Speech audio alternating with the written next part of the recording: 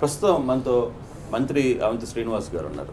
అంటే అవంతి శ్రీనివాస్ గారు ప్రధానంగా ఈ జిల్లా మంత్రిగా ఉన్నారు. మొత్తం బాధ్యతలన్నీ కూడా ఆయన మీదే ఉన్న నేపథ్యంలో.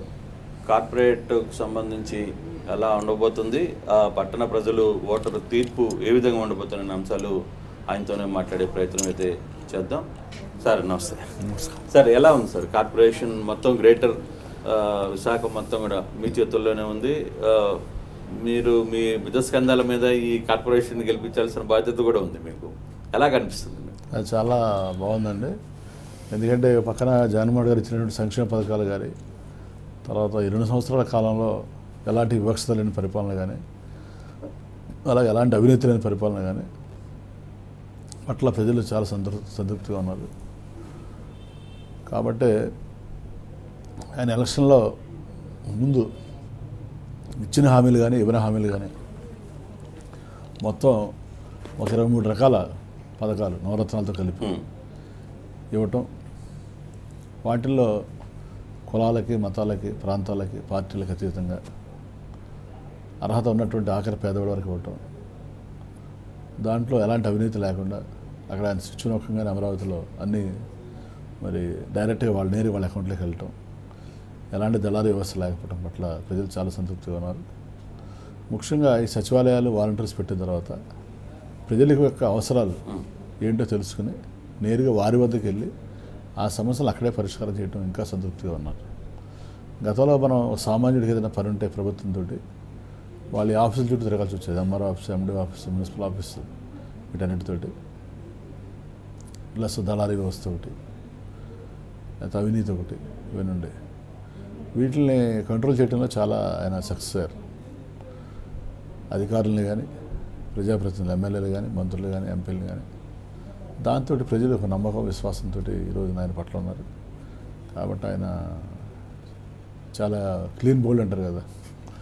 అలాగా చేసాడు తెలుగుదేశం పార్టీని. పాపం ఇంట్లో కుప్పంతో సహా. అది తట్టుకోలేకపోతున్నాను చంద్రబాబు గారు పాపం. ఎందుకంటే వాళ్ళ ప్రజలకు కావాల్సిన సంక్షేమం అభివృద్ధి. రాజకీయాలు కాదు రాజకీయాలు మనకు కావాలి. రాజకీయ నాయకులకు కావాలి. మీడియాకి కావాలి. మన అందరికి కావాలి కానీ. వాళ్ళకి ఉండటానికి ఇల్లు తినడానికి తిండి కట్టుకోవడానికి బట్ట. ఇలా వాళ్ళ చదువు విద్య వైద్యం అలాగే మలుగు వస్తువులు రోడ్లు డ్రైన్స్ అలాగే రైతులకి రైతు భరోసా ఇవ్వటం. పిల్లలకు అమ్మఒడి జగన్ విద్యా దీవెన. సో వాటితోటి ప్రజలకు ఒక నమ్మకం. ముఖ్యంగా మన కరోనా టైంలో చూశారు మీరు. మన రాష్ట్రం కానీ దేశం కానీ ప్రపంచం మొత్తం ఆర్థిక వ్యవస్థ కుదేలైపోయింది. సో అలాంటి సమయంలో కూడా నేను చాలా ధైర్యంగా ఎక్కడా కూడా తగ్గకుండా ఈయన ఇచ్చిన హామీలు మహిళలకు సున్నా వడ్డీ కావచ్చు లేకపోతే రైతు భరోసా అవ్వచ్చు అమ్మఒడి కావచ్చు తర్వాత డ్వాక్రా రుణమాఫీ కావచ్చు ఇవన్నీ కూడా చేసేటప్పటికి ప్రజల్లో ఉన్న కాన్ఫిడెన్స్ పెరిగిపోయింది. ఎందుకంటే మన ఆకలిస్తున్న అన్నం పెట్టాను ఇది ఎప్పుడు తర్వాత ఏదో పరాన్న తర్వాత పరమాణం పెడితే లాభం లేదుగా అది. సో దాంతో ప్రజలు అనే కరోనా టైంలో కూడా ఆయన అన్న మాట ప్రకారం ఇచ్చాడు అనేది ఒకటి. రెండోది నిన్న మీరు చూశారు. ఈ మా క్యాబినెట్లో డెసిషన్ తీసుకుని ఒక సంక్షేమ క్యాలెండర్ కూడా రిలీజ్ చేశాడు ఆయన. ఏదో మన స్కూల్స్లో కాలేజెస్లో రిలీజ్ చేస్తారు అకాడమిక్ క్యాలెండర్. ఈ నెల సిలబస్ ఈ సిలబస్ ఈ సిలబస్ అని. అలా దేశంలో ఎనిమిది రాష్ట్రాలు ఉంటే ఎనిమిది రాష్ట్రాల్లో మొట్టమొదటిగా ఒక సంక్షేమ క్యాలెండర్ అనౌన్స్ చేస్తే ముఖ్యమంత్రి ఆయనే. అంటే ఒక కమిట్మెంట్ అది. మనం ఏదైనా మాట అన్నామంటే అది అయితే జరిగి తీరాలి. అనేది ఒక కమిట్మెంట్ దాన్ని బట్టి అధికారులు కానీ ప్రజాప్రతినిధులు మేము కానీ మంత్రులు కానీ పనిచేయాలని ఆయన ఉద్దేశం. సో దాంతో ఈ నెలలో ఇది ముందే చెప్పేసాను క్లియర్గా మనం ఈ కార్యక్రమం చేయాలి ఈ కార్యక్రమం చేయాలి. అంటే దాన్ని బట్టి మేము ప్రిపేర్ అయి ఉంటాం వాళ్ళు కూడా ప్రిపేర్ అయి ఉంటారు అధికారులు కూడా. ప్రజలు కూడా ప్రిపేర్ అయి ఉంటారు. సో కాబట్టి ఆ ప్రిపేర్నెస్ ఒకటి ఆ కమిట్మెంట్ ఒకటి ట్రాన్స్పరెన్సీ ఒకటి తర్వాత కరప్షన్ ఫ్రీ ఒకటి ఇలా అన్ని రకాల కారణాలు. ఆయన మామూలు ఒక రోజులో వచ్చిన విషయం కాదు ఇది. రెండోది ఏంటంటే జస్ట్ జనరల్ ఆయన ఎక్కువ పబ్లిసిటీ కోరుకోడు ఆయన. చాలా తక్కువ మాట్లాడతాడు మీకు తెలిసిన సంగతి. ఆల్వేస్ వర్క్స్ వర్క్స్ వర్క్ అంతే. ఆయన ఇంప్రెస్ చేయాలంటే మేము కూడా ఈవెన్ నాయకులు కూడా త్రూ అవర్ వర్క్ ఓన్లీ కానీ ఇంప్రెస్ గానే ఏదో అంతే. మా మాటలతో మనం కెనాట్ చెప్పలేం. ఇంప్రెస్ సో కాబట్టి ఆయన పనితనం ఆయన చిత్తశుద్ధి పారదర్శక పరిపాలన అవినీతి రహిత పరిపాలన ప్రజలకు అర్థమైంది. కోర్స్ కొన్ని మీడియా సంస్థలు ఎన్ని రకాలుగా ఎన్ని బదనాజ్యాలను చూసినా తెలుసు కదా ఇప్పుడు మీరు. అన్నదన్నోడికి మీకు తెలుసు అది. మీకు సహాయం పొందినోడికి మీకు తెలుస్తుంది ఎవరు సహాయం చేశారు ఎవరు సహాయం చేయలేదు? కాబట్టి అది గ్రహించలే ఫండమెంటల్గా చంద్రబాబు నాయుడు గారు. అంటే అఫ్ కోర్స్ కొంచెం బాధ ఉంటుంది ఆయనకి. అపోజిషన్ లీడర్ రోజు రోజుకి డిఫేమ్ అవుతున్నానని. కానీ దాన్ని సరిగ్గా ట్యాకిల్ చేయలేకపోతున్నాను. ఆ ఫ్రస్ట్రేషన్ తోటి ఆయన స్థాయికి దిగజారి రోజు రోజుకి. కొన్నాళ్ళ దేవుళ్ళు తిట్టడం. మతం అంటాడు క్రిస్టియన్ అంటాడు హిందూ అంటాడు.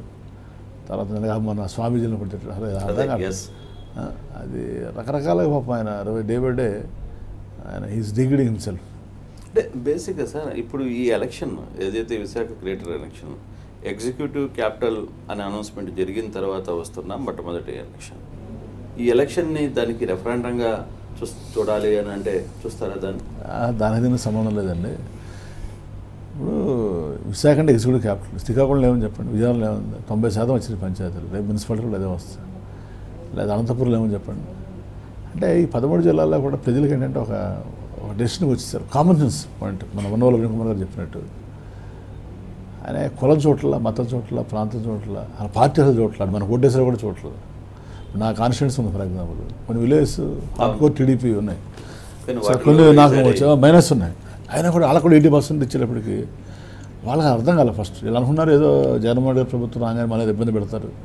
లేదా మనకేమి పథకాలు ఎవరు అది ఇది అనుకున్నారు. ఎప్పుడైతే ఇలాగ ఓవర్ హెల్మింగ్ ఉండేటప్పటికి ఇంత మ్యాగ్నాన్ని పెట్టి అరే ఇలాగా ఇంది ఇదే జగన్మోహన్ గారి పరిపాలననే పాపం ఈయన ఎన్ని రంకిలేసిన చంద్రబాబు నాయుడు గారు వాళ్ళు రావట్లేదు ఎందుకంటే వాళ్ళు ఆల్రెడీ తీసుకున్నారు లబ్ధి పొందున్నారు వాళ్ళకి కావాల్సిన సంక్షేమం కావాలి ఎవరైతే ఏంటి? అది దానివల్ల ఎక్కడ కూడా అసలు ఇదనేది లేదు. మరి ఏ కార్పొరేషన్ తీసుకోండి ఏ జిల్లా తీసుకోండి.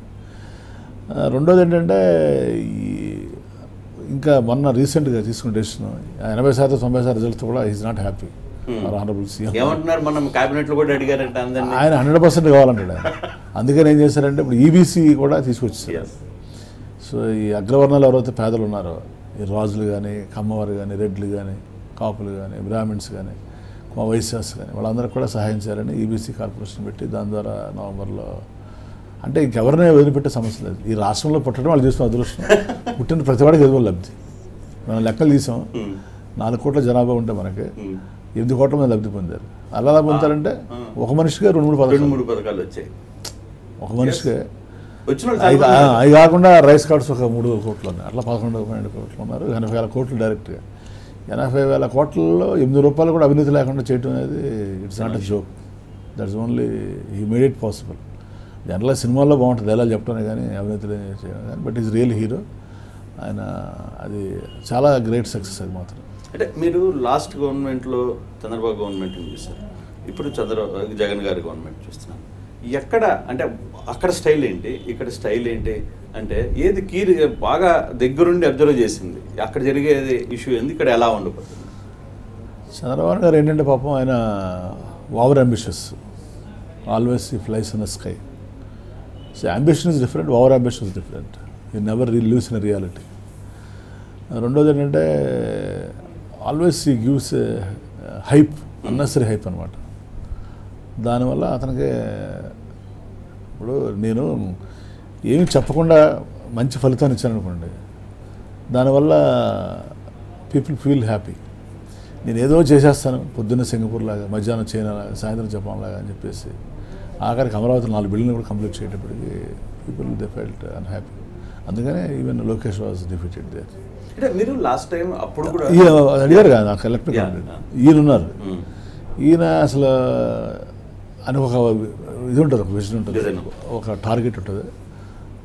దాని ప్లస్ దాని ప్లానింగ్ ఉంటుంది. మొత్తం కూడా రెండో ప్రిపేర్డ్నెస్ వెల్ ప్రిపేర్డ్ ఉంటాడు.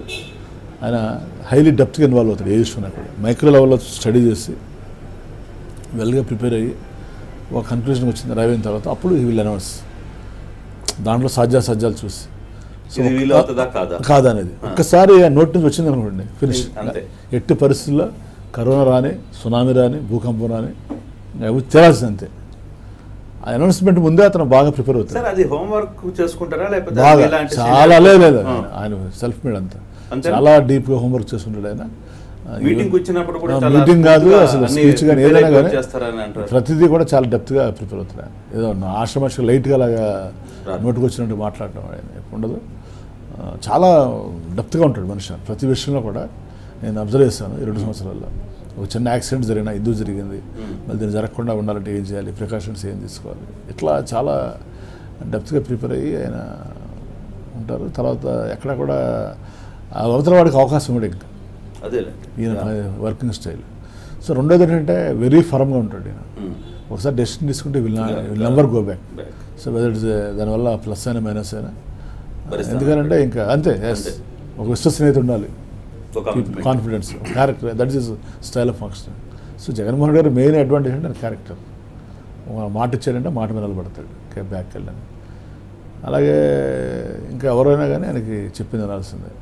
కానీ ఆయన ఇంత ఈయన ఎంత బలవంతుడో లీడర్షిప్లో జగన్మోహన్ రెడ్డి గారు చంద్రబాబు నాయుడు గారు అంత బలహీనుడు. పూర్ డెసిషన్ మేకింగ్ చాలా నాన్స్తాడు ఆయన. ఒక డెసిషన్ తీసుకోవాలంటే వేవ హైలీ వివరింగ్ ఉంటాడు హైలీ అంబిక్యూటివ్ ఉంటాడు. రెండోది రెండు మూడు గ్రూపులు ఉన్నాయి వాటిని మేనేజ్ చేయలేడు. వాళ్ళ మీద యాక్షన్ తీసుకోడు వీళ్ళ మీద యాక్షన్ బ- బ- స్వతహా బయస్ ఏం నెవర్ బి ఫరం ఇప్పుడు మనిషి అన్నాక మనం ముందుకెళ్ళాలంటే జీవితంలో ఏదో ఒక డెసిషన్ తీసుకుంటే ఫరంగా ముందుకెళ్తాం. సో దానివల్ల ఆయన చంద్రబాబు గారికి ఎవరో శత్రువు కాదు. జగన్మోహన్ గారు ఇంకోళ్ళు ఇంకోళ్ళు కాదు. చంద్రబాబు గారు చంద్రబాబు నాయుడు గారు శత్రువు. దగ్గరగా చేశారే. పూర్ డెసిషన్ మేకింగ్ వల్ల హైలీ అంబికేటివ్ ఉంటాడు. తన హైలీ హైప్ క్రియేట్ చేసుకుంటాడు. హైలీ ఇల్యూజన్స్లో ఉంటాడు ఎప్పుడు కూడా ఆయన.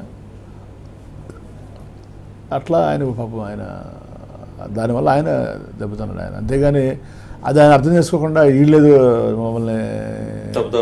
విచక్షణ మమ్మల్ని ఏదో కక్షాదింపు అంటాడు ఇవన్నీ ఎవరి కక్ష ఎవరు భయపడతారు? మీరు భయపడతారు సార్ ఎవరు? ఈ రోజుల్లో ఎవరండి ఎవరికి ఎవరికి భయపడతారు ఎంతమంది ఐదు కోట్ల భయపడలేదు. ఐదు పోలీ జనాభా ఐదు కోట్లు ఉన్నారు. పోలీసులు ఐదు లక్షలు కూడా లేరు లక్ష ఉంటారేమో ఎంతమంది ఎవరో భయపడతారు? సో అవన్నీ పబ్లిక్లో ఒకసారి మీకు వేవ్ వచ్చిన తర్వాత ఈ భయాలు గీయాలు ఏమి అట్లాంటి ఇప్పుడు ఒకే ఒకే గవర్నమెంట్ ఉండాలి అంతే మారకూడదు కదా. ఇక రాచరిక ప్రభుత్వం. ఒకటే రూల్ చేయాలి. So public are very smart enough they are very intelligent enough so వాళ్ళంతా they they study but they are quite when the time comes they will show అంతే. అంతేగాని మనలాగా ప్రతిసారి రోజు రోడ్డు మీదకి వచ్చి మీడియా ముందుకు వచ్చి అదొకటి. దానివల్ల నో డౌట్ ఇప్పుడు మొన్న మీరు చూస్తుంటారు ఇండియాలో ఈ సర్వే చేస్తే కొన్ని ఏజెన్సీలు is the best performance CM అని our honourable CM Jaganmohan Reddy garu ghat three polls top త్రీలో ఉన్నాడు నో డౌట్ రాబోయే టూ త్రీ డేస్లో will become number one India guarantee no doubt ఎందుకంటే మనం చూసాం కదా నవీన్ పట్నాయక్ వీళ్ళందరినీ పాలసీస్ వాళ్ళు ఏంటంటే pro poor policies so Jaganmohan garu ఏంటంటే always pro poor peoples welfare and development ఇంకేం లేదు ఆయన irrespective of the party line irrespective of the party line రెండోది కరప్షన్ ఫ్రీ. ఎక్కడ కూడా మన ఏసీబీ కూడా చూశారు మీరు. ఏసీబీ మీరు చెప్తే ఆశ్చర్యపోతారండి. ముప్పై సంవత్సరాల నుంచి పెండింగ్ ఉన్నాయండి కేసులు. అబ్బో! ఇంకా వ్యవస్థ మీద ఏమైనా నమ్మకం చెప్పండి ప్రజలకి. సో దాన్ని అమెండ్మెంట్ తీసుకొచ్చి హండ్రెడ్ డేస్లో. ఎవరైనా సరే పనిష్మెంట్ యాక్షన్ ఉండాలి. మీరు తప్పు చేశారనుకోండి పనిష్మెంట్ ఉంటుంది తప్పు చేయకపోతే కేసు తీసుకుంటాం అంతే అంతేగాని ముప్పై ఏళ్ళ నుంచి కూడా కేసులు పెండింగ్ పెడితే ఏం? అరెస్ట్ చేస్తున్నా జైలు పెడితే బెయిల్ తెచ్చుకుంటే అదిలే అంతే ఇంకా. అలా కొన్ని చాలా డెసిషన్స్ మాత్రం. ఒకటేమో ఎక్కడా కూడా ఈ ఇన్ని పథకాలు ఇచ్చినప్పుడు ఎలాంటి వివక్షత లేకుండా కరప్షన్ ఫ్రీగా చేయడంలో మోస్ట్ సక్సెస్ఫుల్ అయ్యాడు. మూడోది అఫీషియల్స్ కరప్షన్ ఉంటే అఫీషియల్స్ని వాళ్ళకి పనిష్మెంట్ ఉంటుంది. రెండోది వాళ్ళ ఈవెన్ వాళ్ళు సంపాదించిన ఆస్తులు కూడా అటాచ్ చేయాలి గవర్నమెంట్ అనేది. Plus quick disposal of cases అనేది. ఉంటే కొంచెం దే ఫీల్ థ్రెట్ ఎలర్ట్గా ఉంటారు. సో కాబట్టి ఆల్రెడీ ఈ పీపుల్స్ రిప్రజెంటేటివ్స్ని కరప్షన్ కంట్రోల్ చేయడంలో సక్సెస్ అయ్యాను అఫీషియల్స్ కూడా కరప్షన్ కంట్రోల్ పబ్లిక్ అంత కా- సామాన్యకి ఏం కావాలండి? అంతే కదా సార్. వాళ్ళ కామన్ మ్యాన్ కావాల్సింది ఆ ఇంట్లో కూర్చుంటే సచివాలయాల ద్వారా వాలంటీర్స్ ద్వారా పని అవుతుంది. ఏ ఆఫీస్కి వెళ్ళినా ఎవరు లంచం అడగట్లేదు యా. ఇప్పుడు అంతే కదా. ఇప్పుడు మీరు కూడా ఉన్నారు. మీ జీతంతో మీరు హ్యాపీగా ఫీల్ అవుతారు. అది ఎప్పుడైతే మీ పిల్లలకి డొనేషన్లు కట్టాలి ఫీజుల కోసం లేదా కూడా లంచాలు ఇవ్వాలంటే మీరు కూడా అడదాలు వదులుతారు హండ్రెడ్ పర్సెంట్. ఇవాళ స్కూల్స్ కూడా చూశారు మీరు. నాడు నేడులో పెట్టాయన పదిహేను వేల కోట్లు పెట్టి ఈ కార్పొరేట్ స్కూల్స్ ధీటుగా వీటిని ఫస్ట్ ఎయిటీన్ థౌసండ్ క్రోర్స్ పెట్టి ఎటు- మరి రిలీజ్ చేయడం అనేది ఎడ్యుకేషన్ టాప్ ప్రయారిటీ. రెండోది హెల్త్. ఆ పాడేరు లాంటి ప్లేసుల్లో డాక్టర్ వెళ్ళడానికి భయపడతారు. అవునా కదా? అందరూ తెలుసు. ఒక హాస్పిటల్ పెట్టడానికి భయపడతారు. అలానే ఐదు వందల కోట్లు పెట్టి మెడికల్ కాలేజ్. సో ఉన్న పిహెచ్సీలు సిహెచ్సీలు అప్గ్రేడేషన్. సో మెయిన్ పేదవాడికి ఇవే కదా బర్డెన్. మరి రాజశేఖర్ గారు ఇప్పటికీ మహానుభావుడు నిలిచిపోయాడంటే ఆ ఆరోగ్యశ్రీ తీసుకొచ్చి కొన్ని మా లక్షల మందికి ప్రాణదానం చేశాడు ఆయన. హాస్పిటల్స్లో మనకు తెలిసి ఎంత ఎక్స్పెన్సివ్ అనేది ఎడ్యుకేషన్ హెల్త్ అనేది. సో దానివల్ల రెండింటి వల్ల ఆయన మహానుభావుడిగా నిలిచిపోయాడు ఇప్పటికి. ఇప్పటికీ జనాలు చనిపోయి పదేళ్ళు గుర్తుండదు కదా. నా పిల్లోడు ఇలా ఇంజనీరింగ్ చదివాడు డాక్టర్ చదివాడు ఆయన వల్ల ఫీజు రిమర్స్మెంట్ వల్ల. అలానే మా అమ్మకి ఆపరేషన్ అయింది బతికింది. లైఫ్ టైం హెల్ప్ కదా అది. సో దాంతో ఆయన చాలా ఉండిపోయాడు.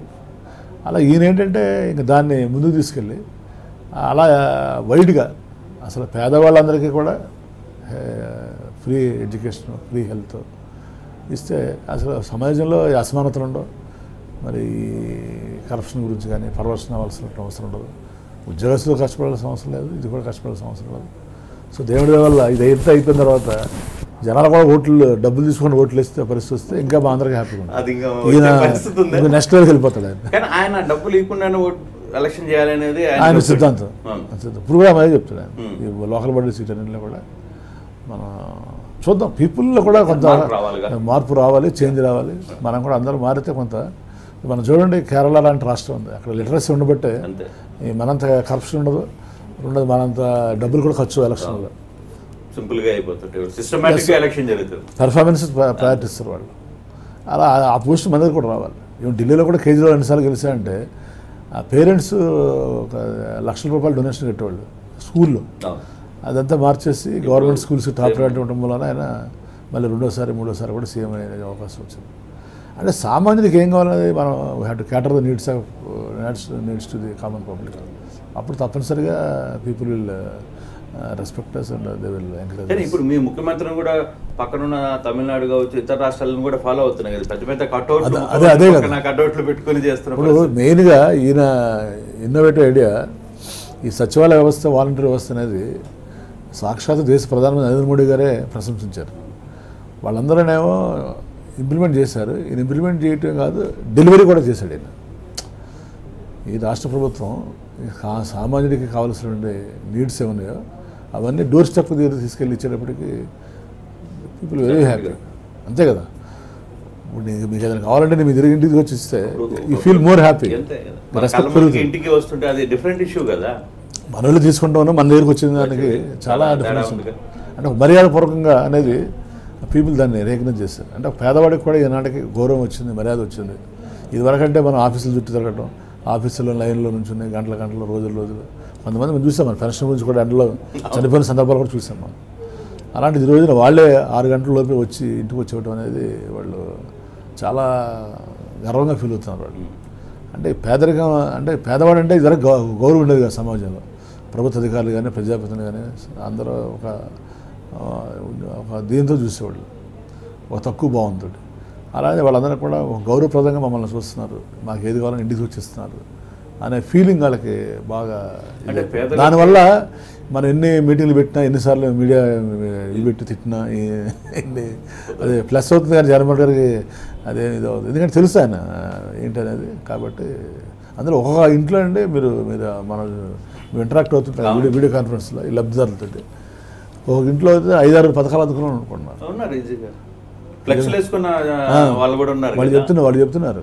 ఈవెన్ మా హస్బెండ్ మా ఫాదర్ వాళ్ళు ఉన్నా కూడా ఇంత హెల్ప్ చేయలేరండి మాకు. మా ఫాదర్ కంటే ఎక్కువ చేశారు మీరు మా అన్న కంటే ఎక్కువ చేశారని వాళ్ళు ఒక ఇంట్లో వన్ ల్యాక్ రూపాయలు ఇస్తున్నటువంటి చాలా కానీ మీరేమో వెల్ఫేర్ ఇస్తున్నాం డెవలప్మెంట్ చేస్తున్నాం అని చెప్పి చెప్తున్నారు. ప్రతిపక్షాలు ఏమో చాలా సీరియస్గా అలిగేషన్ చేస్తున్నాయి. మన పంచాయతీ ఎన్నికల్లో మీరేమో డబ్బులు కోట్ల రూపాయల డబ్బులు కుప్పలనాటి దగ్గర యాభై కోట్లు అరవై కోట్లు డబ్బులు పెట్టి ఖర్చు పెట్టారని ఆయన స్వయంగా చెప్తున్నారు. మరోవైపు పోలీసులు లేకపోతే అసలు ఎలక్షన్ చేసుకోలేని పరిస్థితిలో వైసీపీ ఉందని చెప్పి మాట్లాడుతున్న పరిస్థితిని ఎలా చూడాలి అది? అది తప్పు సార్ చాలా. అదే అని చెప్తాను చంద్రబాబు గారిని. ఎప్పుడు కూడా మన ప్రజలు దేవుళ్ళు సార్. ప్రజల్ని ఎప్పుడు కూడా తక్కువ అంచనా వేసి మాట్లాడకూడదు రాజకీయాల్లో గెలిపోవటం సహజం. ఒకసారి మనం గెలుస్తాం ఒకసారి ఒక ప్రత్యర్థి గెలుస్తాడు సో మనం గెలిస్తేనేమో మన కోట్లు వేస్తేనేమో పవిత్రంగా వేసినట్టు. ఆ ప్రత్యర్థికి వేస్తేనేమో డబ్బులు తీసుకుని లేదా భయపడి వేసినట్టు ప్రజాస్వామ్యం pure ఆ, అయినట్టు. అపవిత్రం అన్నట్టు. కరెక్ట్ కాదు అది. అది ఏంటంటే ఆయన చెప్పాను ఇందాక ఆయన ఒక ఇన్సెక్యూరిటీ ఫీల్ అయ్యి ఆయన. ఒక ఫ్రస్ట్రేషన్లోనే పోయి ఆయన ఆ స్థాయికి దిగారు మాట్లాడుతున్నాడు. అది చాలా తప్పది. ఈ రోజున కుప్పంలో కూడా చెప్పానండి ఎవరికైనా తెలుగుదేశం పార్టీ నాయకులకి కార్యకర్తలకు కానీ ఒక ఇళ్ళ పట్టాలు కానీ రేషన్ కార్డు కానీ పెన్షన్ కానీ అమ్మఒడి కానీ ఏదైనా ఆపేమో చెప్పండి. అందరికీ ఇచ్చాం కదా కుప్పం మన రాష్ట్రంలో ఇది కదా. ఇది కాదు. కుప్పం వాళ్ళు మన ప్రజలు కదా. ఆయన ఆలోచించి చంద్రబాబు నాయుడు ఈ ఒక వర్గం నాకు కావాలి అమరావతి వరతుంది గ్రామాలు కావాలి. అందరికీ ఎవరు వాళ్ళు వీళ్ళేదండి కుప్పంలో ఆదరించారంటే ప్రజలు అందుకు ఆదరించారు. కుప్పంలో ఇవాళ వాళ్ళకి మీరు చూసారు కదా కరోనా టైంలో ఎంత ఇబ్బంది పడ్డారు? కుప్పం ఏంటి? అది కాదండి కదిరి దేశం మొత్తం ఎత్తు గమ్మని చేతులు వచ్చేస్తే ఈ రాష్ట్రం పూర్తిగా ఇంటికి అంతే సరఫరా కదా. కావచ్చు బియ్యం వెయ్యి రూపాయలు డబ్బులు కూడా ఇచ్చారు. రెండు. టూ టైమ్స్ ఇచ్చారు. రేషన్ ఆరు సార్లు ఇచ్చారు.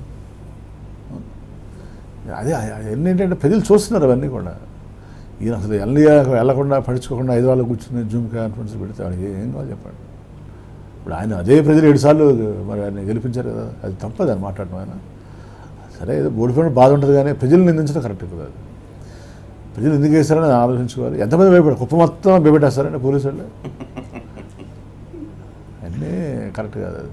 కానీ విశాఖ ప్రజలకి క్యాపిటల్ ఎగ్జిక్యూటివ్ క్యాపిటల్ రాబోతుందని చెప్పిన తర్వాత మరొక కీలక వ్యక్తి నిన్న మొన్న కూడా లోకేష్ కావచ్చు చంద్రబాబు గారు మాట్లాడిన మాటలు ఏంటంటే రౌడీజం పెరిగిపోతుంది ఇక్కడ రాజారెడ్డి రాజ్యాంగం వచ్చేస్తుంది ఇక్కడ భూ ఆక్రమణం చేసేస్తున్నారు పూర్తిగా భూ ఆక్రమణలు మొత్తం నిండిపోతుంది మొత్తం ఇక్కడ మంత్రులు తర్వాత రాజ్యసభ సభ్యులు అందరూ కూడా దోచుకుంటున్నారు అనే ఒక కంటెంట్ సీరియస్ అలిగేషన్ ఒకటి వరుసగా చేస్తున్నారు ఈ మధ్య. అంటే ఎన్నికలకు దగ్గరకు వచ్చేసరికి ఇంకా ఎక్కువ జరుగుతుంది. ఏమంటారు? నిజంగానే అంత విశాఖలో ప్రజలు క్యాపిటల్ని వ్యతిరేకిస్తూ నిజంగానే మీరందరూ దౌర్జన్యాలు లేకపోతే భూమి ఆక్రమణలు అటువంటి ఏమైనా చేస్తున్నారా? పూర్తిగా దుష్ప్రచారం అది పూర్తిగా అవాస్తవం. ఎక్కడా కూడా అలాంటిది లేదు. మీరు చెప్పండి మేము చెప్పి ఓపెన్ ఛాలెంజ్ చేస్తాం.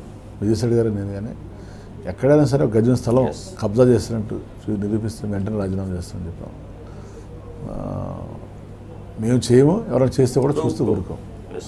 సో అది చాలా పొరపాటు అది గతంలో కూడా విజయంగా అలానే ఓడించారు అలాంటి దుష్ప్రచారాలు చేస్తే ప్రజలు అవన్నీ నమ్మే పరిస్థితులు లేరు.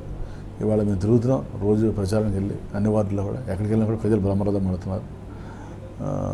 మీరు సీఎం గారు క్లియర్గా చెప్పారు. ఈ ఆక్రమణలు కానీ అవినీతి కానీ తన మననే భేదం లేదు. క్లియర్గా చెప్పారు. కదా. వాళ్ళు అవతల పార్టీ వాళ్ళని మన పార్టీ వాళ్ళని ఎవరిని కూడా ఉపేక్షించను. ఎట్టి పరిస్థితులు కూడా సహించని చెప్పాడు. ఆ విషయంలో ఈజ్ వెరీ ఫారం ఒకే దశలో మీ ఎమ్మెల్యేలు కూడా పిలిచి చెప్పినట్టు పరిస్థితి కూడా. అందరూ ఎమ్మెల్యేలు కాదు ఎంపీలు కాదు మినిస్టర్లు కాదు అది ఐఏఎస్లు కాదు ఐపీఎస్లు కాదు. అందరిని కూడా ఒకటే చెప్పాడు ఆయన. రాయలసీమ భాషలో తీసేస్తానని కూడా పీకేస్తానని చెప్పాడు ఆయన. చాలా ఫరంగా ఉన్నాడు ఆ విషయంలో. ఆ విషయంలో అందరూ తెలుసు. ప్రజలకు అర్థమైపోయింది. ఉమ్. ఇదివరకు మనం చూసాం కదా ప్రజే చెప్పేది నేను చంద్రబాబు గారికి తేడా ఏంటంటే ఆయన ఏ ఫరంగా డెసిషన్ తీసుకోవడం ఇంప్లిమెంట్ చేయడు. ఈయన అట్లాగా చాలా ఫరంగా ఉంటాడు. ఒక డెసిషన్ తీసుకొని చాలా ఇంప్లిమెంట్ చేస్తాడు. ఈ మధ్యన మా ఇలాంటి ఆరోపణలు వస్తే కూడా మా నాయకుడిని ఒక అతను కూడా సస్పెండ్ చేశారు పార్టీ. సో కాబట్టి అవన్నీ అసలు చాలా ఆయన దాంట్లో అక్కడ స్పేర్ చేయడం అవన్నీ కూడా. ఎందుకంటే ఆయన ఈజ్ వెరీ క్లియర్ ఆయనకి ఏం కావాలో ప్రజలకు ఏం కావాలి ఎట్లా అనేది ఆయనకి చాలా మంచి ఐడియా ఉంది. దాని ప్రకారం వెళ్ళిపోతాడు ఆయన. అంటే అవంతి శ్రీనివాస్ తర్వాత తన వారసత్వాన్ని కూడా రంగంలో దించారు. మరి ఈ ఎన్నికల రూపంలోనే ఇప్పుడే దించడానికి కారణం ఏంటి? వారసత్వం అదే లేదండి. ఇప్పుడు జగన్మోహన్ రెడ్డి గారు దగ్గర ఉన్న గొప్ప లక్షణం ఏంటంటే ఇందా చెప్పాను కదా పూర్ పీపుల్ని వెల్ఫేర్ గురించి ఆలోచిస్తాడు ఎంకరేజ్ చేస్తాడు. తర్వాత నెగ్లెక్టెడ్ కమ్యూనిటీస్ ఏమన్నాయి వాళ్ళందరినీ ఎంకరేజ్ చేస్తాడు. వాటితో పాటు ఆల్వేస్ ఎంకరేజ్ చేస్తుంది లేడీస్. పూర్తిగా ఆయన మహిళా పక్షపాతం చెప్పొచ్చు. యాభై ఆరు కార్పొరేషన్లు ఇచ్చారు మొన్న. యాభై ఆరులో సగం మందికి లేడీస్. పర్సెంట్ లేకుండా ఆయన ఒప్పుకోలేదు మా వాళ్ళు అడిగి అంటే- మామూలు అంటే కూడా మీరు ఏం చేస్తారో తెలియదు అలా దొరకట్లేదు కానీ ఏంటంటే మీరు ఏం చేస్తారో తెలియదు అని ఏ వరకైనా ఒప్పుకోలేదు. రెండోదేమో మొన్న ఇప్పుడు ఈ జీవీఎంసీలో కూడా తొంభై ఎనిమిది కార్పొరేట్లు ఇచ్చారు. వాళ్ళలో సగం మంది మహిళలకు ఇచ్చారు.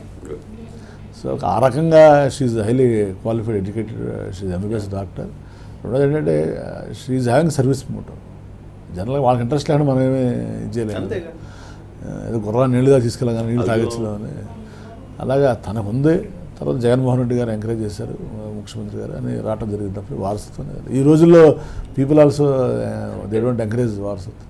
వాళ్ళు ఏంటంటే కరెక్ట్ కానీ అంటే ఒక పాప రాజకీయాలు ఎందుకు? అందులో పెద్ద ఫ్యామిలీస్ ఆల్రెడీ వెల్ ఎస్టాబ్లిష్మెంట్లో ఉన్నాం. మన పాపను ఎందుకు జనాల్లో తిప్పడం లేదు? ఈ రాజకీయాలు అవసరమా?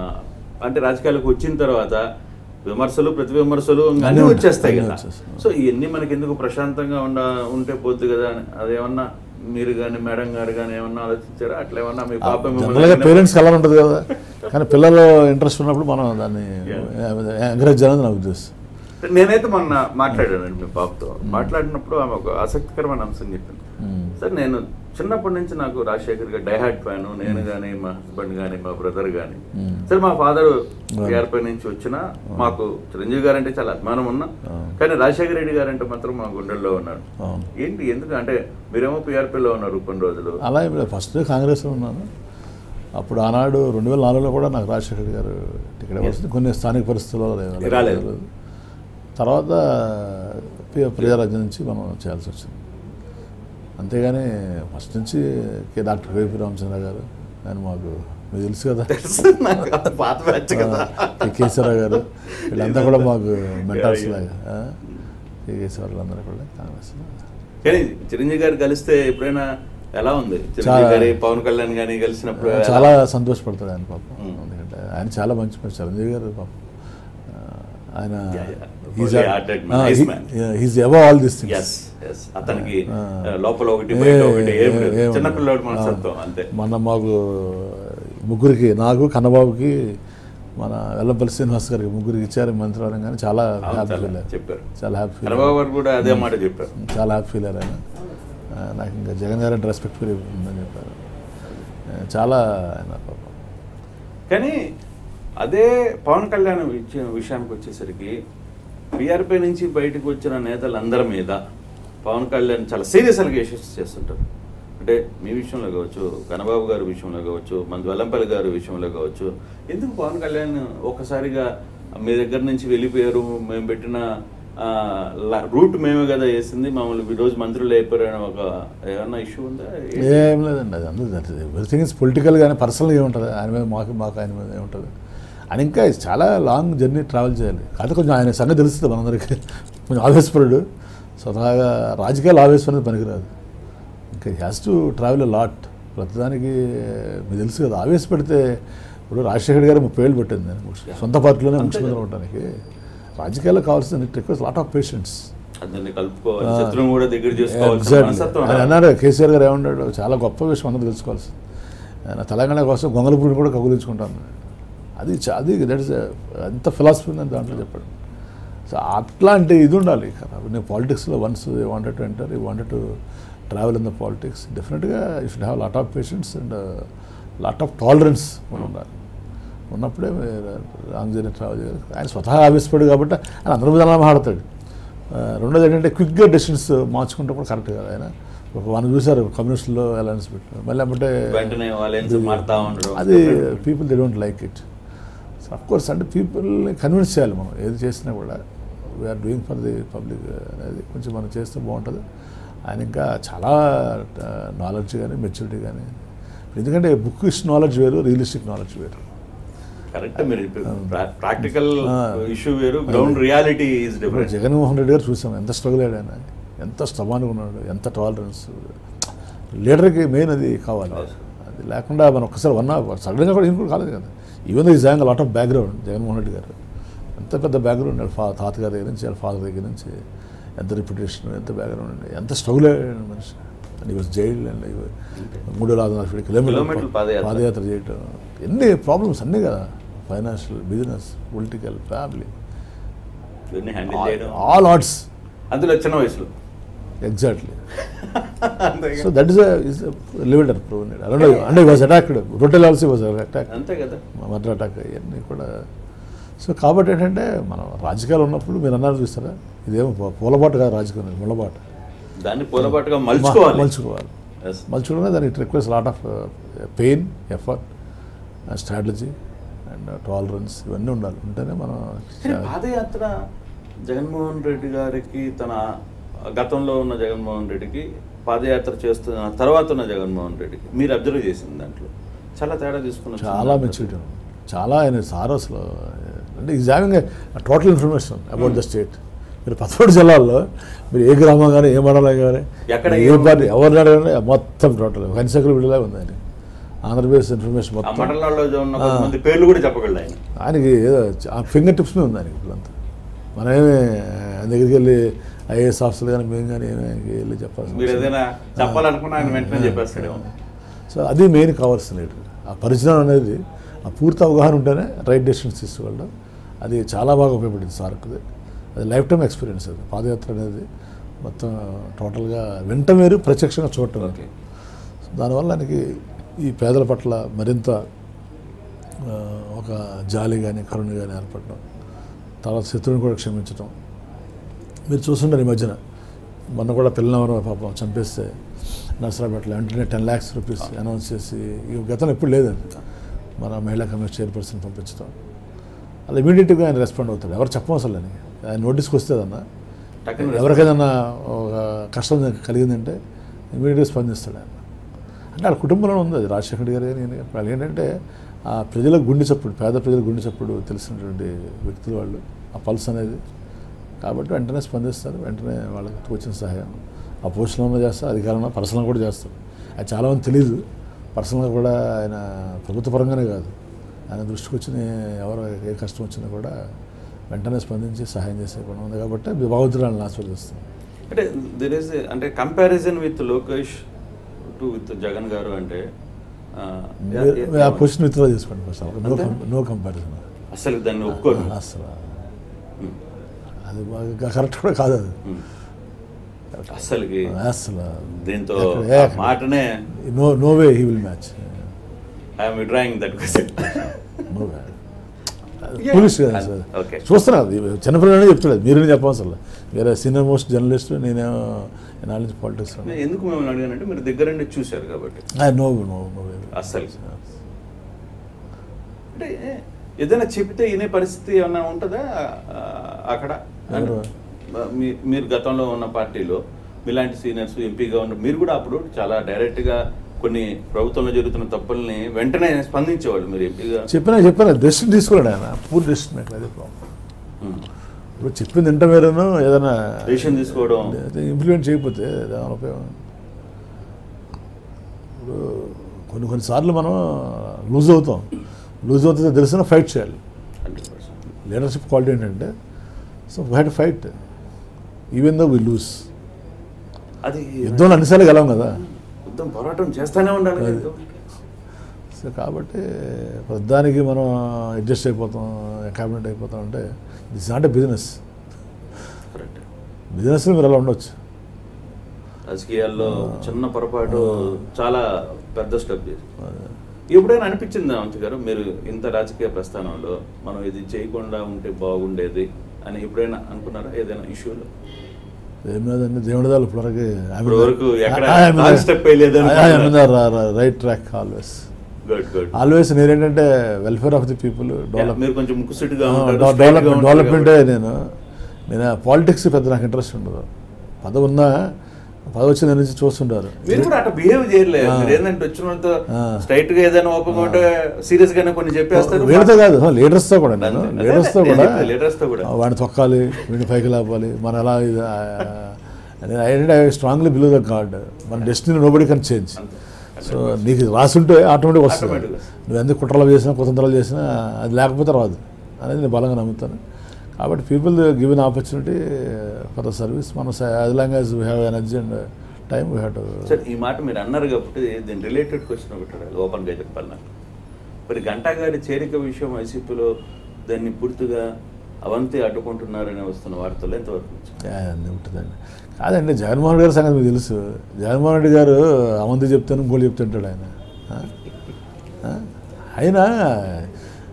He's a very firm and he's having very clear vision who is who what is what అనేది హీ నోస్ ఎవ్రీథింగ్ ఆయన ఏమో జగన్మోహన్ రెడ్డి గారు చంద్రబాబు నాయుడు కాదు అది ఇంకోటి కాదు? కానీ ఈ రోజు వీళ్ళు కూడా ఉన్నారు. కాదు మా అడ్వైస్ కూడా ఉన్నారు. ఇప్పుడు ఎస్ఆర్కే గారు కానీ వీసాడు వీళ్ళందరూ కూడా సార్ చెప్పింది మేము వినాల్సింది కానీ మేము చెప్పింది ఆయన ఏదో ఇది వేస్తాడు మేము చెప్పింది ఆయన ఏదో. జరిగిపోతుంది అది ఆయనకి చెప్పాను నాకు చెప్పాను మీకు. పొలిటికల్గా కానీ పీపుల్ గురించి కానీ జియోగ్రఫికల్ కానీ ఏరియా వైజ్ కానీ ఇష్యూస్ గురించి కంప్లీట్ అవగాహన ఉన్న వ్యక్తి అతను అదే కొత్తగా న్యూ న్యూగా వచ్చిన కాదు కదా మీ గురి- మీ గురించి నా గురించి. అందరి గురించి. ఎన్నండి ఒకటి ఏ టు జెడ్ తెలిసిన వ్యక్తి ఆయన ఆయనకి మనం ఏదో ఎవరు చెప్పుకున్నది భ్రమ అది. ఏ నేను చెప్తే ఆఫీసర్ లేదా నేను చెప్తే తీసుకున్నారు ఏదో అలా ఆత్మసంతో చెప్పు చెప్పుకోవడం తప్పించి అని పర్ఫెక్ట్ కానీ క్యాలిక్యులేషన్ ఆల్మోస్ట్ చేరే దాకా వచ్చింది కదా ఎందుకు బ్రేక్ అయింది? ఏం మనకు తెలియదు అది అసలు అది అంత బయట రూమర్సే కానీ. ఎప్పుడైనా మధ్య కాలంలో మాట్లాడుకోవడం జరిగింది? స్టీల్ ప్లాంట్లో కలిసినప్పుడు. అసలు నేను ఎవరో పెద్దగా అది కాదండి మనకి ఏమి. చెప్పాను కదా మీకు.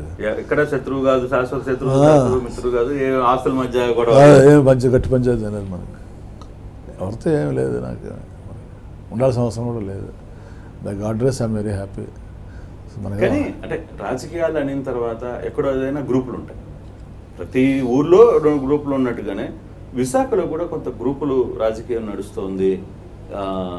ముత్యంశెట్టి మంత్రి గారు అవంతి గారు ఒక గ్రూపు కొంతమంది కొంత గ్రూప్గా నడుస్తుంది అని వస్తున్న వార్తలు. ఏం లేదండి. ఏం లేదు. నేను అదే చెప్తున్నా కదా మీకు ఇక్కడ ఉన్నది జగన్మోహన్ రెడ్డి గారు. ఉన్నది ఒకటే గ్రూపు జగన్మోహన్ రెడ్డి గ్రూపు ఉన్నది ఒకటే పార్టీ వైఎస్ఆర్సీపీ. అదే అంత సాహసం చేసేవాళ్ళు ఎవరు లేరు. గ్రూపులు మెయింటైన్ చేసేంత అవకాశం కూడా ఇవ్వడు. ఎందుకంటే నేను ఉంటే స్టేట్ ఆయనే మాట్లాడతాడు. ఆయన is very lovable man and చెప్తాను కదా ఎవరికే కష్టం వచ్చినా ముందుండేది వ్యక్తి అతను. ఆయన అంత అవకాశం కూడా ఆయన. విశాఖ ఓటర్లు వైసీపీకి ఎందుకు ఓటు వేయాలి అనే ఒక క్వశ్చన్ రేజ్ అయితే మీరు సూటిగా చెప్పే ఆన్సర్ ఓ వంద కారణాలు ఉన్నాయి. ఒకటి కాదు. రెండు మూడు చెప్పండి. వంద ఉన్నాయి. ఈ రోజున విశాఖపట్నం ఆనాడు అభివృద్ధి చెందిన రాజశేఖర టైంలో అభివృద్ధి చెందింది. మళ్ళీ ఈ రోజున విశాఖనే ఒక విశ్వనగరం చేయాలి అనేది ఒక ఆయన ఆలోచన. దానికి సహజంగానే వనరులు ఉన్నాయి. ఒక రెండు పోర్ట్లు కానీ ఒక ఇంటర్నేషనల్ ఎయిర్పోర్ట్ కానీ రైల్వే జంక్షన్ కానీ రైల్వే జోన్ కానీ ఒక నేషనల్ కనెక్షన్ ఇవన్నీ ఉన్నాయి. సో దీన్ని కనుక మనం పరిపాలన రాజధాని చేస్తే. రేపు మన హైదరాబాదు చెన్నై బెంగళూరు వీటితో పోటీ పడగల సత్తా ఒక విశాఖపట్నానికి ఉంది ఎందుకంటే మన రాష్ట్రంలోనే అతిపెద్ద నగరం ఇది. రెండవది కొంచెం పుష్టింగ్ చేస్తే చాలు. Already it's cosmopolitan culture. ఇరవై ఆరు లక్షల మంది ఉంటే ఒక నాలుగు లక్షల మంది బయట రాష్ట్రాల నుంచి వచ్చాం మన ఇక్కడ. న్యాయ హెడ్ క్వార్టర్ ఉంది. తర్వాత పబ్లిక్ సెక్టర్ అనేది కంపెనీ ఉన్నాయి? స్టీల్ ప్లాంట్ కానీ కోరమండలో బిహెచ్పి లాంటి. చాలా ఎన్నో రకాలుగా వాణిజ్యపరంగా కావచ్చు పారిశ్రామిక పరంగా కావచ్చు టూరిజం పరంగా కావచ్చు అన్ని రకాల అవకాశాలు ఉన్నాయి. ఆలోచన చేయాలి అభివృద్ధి చేయాలనేటువంటి ఆలోచన ఉన్నటువంటి నాయకుడు కూడా ముఖ్యమంత్రిగా ఉంటే మన అదృష్టం. కాబట్టి రేపొద్దున కార్పొరేషన్ కూడా గెలిస్తే ఆయన మాకు టార్గెట్ కూడా ఇచ్చారు మన ఇది ఓట్లు వేసుకుని వెళ్ళిపోవటం కాదు మనం ఆరు నెలలు నాకు మార్పు కావాలి. ముఖ్యంగా cleanliness hygienic atmosphere. World class hygienic atmosphere ఉండాలి. తర్వాత twenty four by seven drinking water. ఎక్కడ కూడా ప్రాబ్లం ఉండకూడదు. తర్వాత రోడ్స్ కూడా ఎలాంటి గతుకులేని రోడ్లు. ఉండదు చెప్పేశారా? మీరు ఆ ప్రయత్నం జరుగుతుంది. జరుగుతుంది. కాబట్టి సిక్స్ మంత్స్లో మార్పు అనేది తప్పనిసరిగా జరిగి జరుగుతుంది. తెలియజేసుకుంటూ. సో విజయమైనటువంటి విశాఖ ప్రజలందరికీ కూడా నా విజ్ఞప్తి రేపు మార్చి పదో తారీఖు జరగబోయే ఎలక్షన్స్లో మీ అమూల్యమైన ఓటు ఫ్యాన్ గుర్తు మీద వేసి వైఎస్ఆర్సీపీ అభ్యర్థిని గెలిపించి చివరిగా జగన్మోహన్ గారిని కానుకోవాలని కోరుకుంటున్నాను. చివరిగా ఒకే అడుగుతున్నాను సార్. అంటే విశాఖ ఎంపీకి సంబంధించి కొంత సరిగ్గా హ్యాండిల్ చేయలేకపోతున్నారు. ఎవరితో ఎమ్మెల్యేలతో కలవలేకపోతున్నారు. ఓటర్ల విషయంలో కార్పొరేషన్ ఎలక్షన్లో కూడా అంటి అంటున్నట్టుగా ఉన్నారు అని వస్తున్న వార్తల్లో. అదే అదే అదే అందరూ కలిసి అదే. Okay. Thank you so much. Please subscribe to iDream. subscribe iDream. For more videos, subscribe I Dream. Hi this is Revathi Chowdary for more videos please subscribe I Dream for more videos please subscribe I Dream మీరందరూ కూడా I dream ఛానల్ని subscribe చేయాలని కోరుకుంటున్నారు